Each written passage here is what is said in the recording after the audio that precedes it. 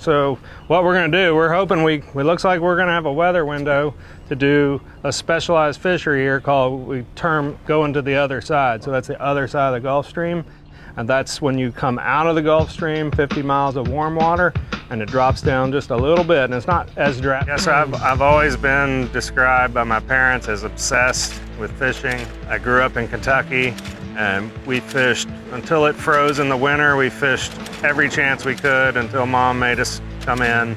Uh, you might find edges along the way where we might dolphin fish or find something floating because we're covering so much ground. So we'll have like spinning rods ready to throw ballyhoos or chunks at dolphins. Merritt Island is a is a unique spot. I moved here uh, in 98 to work on a, a sport boat out of the port. I've been here ever since. Scotty was a guy with a lot of knowledge from being a Port Canaveral charter captain and a legend in his own right.